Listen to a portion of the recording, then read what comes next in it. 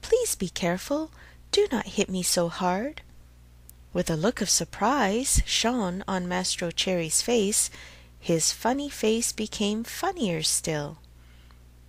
He turned frightened eyes about the room to find out where that wee little voice had come from, and he saw no one. He looked under the bench no one. He peeped inside the closet no one. He searched among the shavings no one. He opened the door to look up and down the street, and still no one. "Oh, I see," he said, laughing and scratching his wig. "It can easily be seen that I only thought I heard the tiny voice say the words. Well, well, to work once more." He struck a most solemn blow upon the piece of wood. "Oh, oh, you hurt!" cried the same far away little voice. Mastro Cherry grew dumb. His eyes popped out of his head, his mouth wide open, and his tongue hung down on his chin. As soon as he regained the use of his senses, he said, trembling and stuttering from fright, "Where did that voice come from, when there is no one around? Might it be that this piece of wood has learned to weep and cry like a child?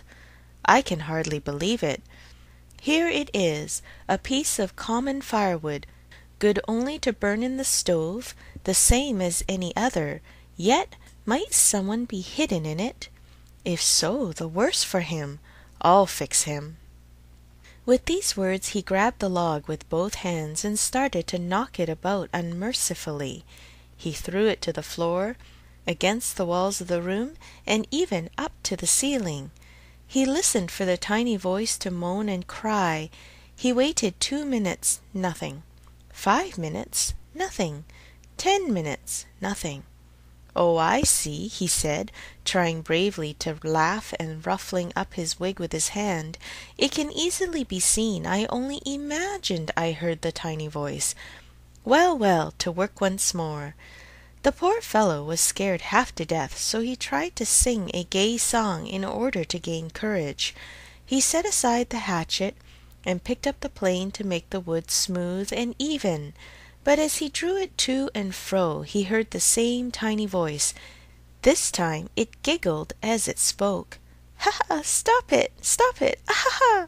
You tickle my stomach!" This time poor Mastro Cherry fell as if shot.